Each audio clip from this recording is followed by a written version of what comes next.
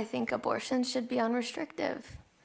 And I think when somebody finds out in pregnancy, when or how far along that they are when someone finds out, they should be able to get an abortion if they want to. And for some people, that is full term. If I can't get abortion training here, if I can't perform abortions in my career, I will not stay in Wisconsin. And a lot of my colleagues who are on the same track agree. There's a correlation between child sacrifice in the Old Testament and modern day abortion.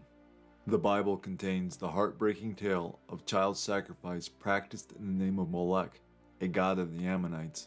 Molech worship was practiced by the Ammonites and Canaanites, who revered Molech as a protecting father figure. Images of Molech were made of bronze, and their outstretched arms were heated and red hot.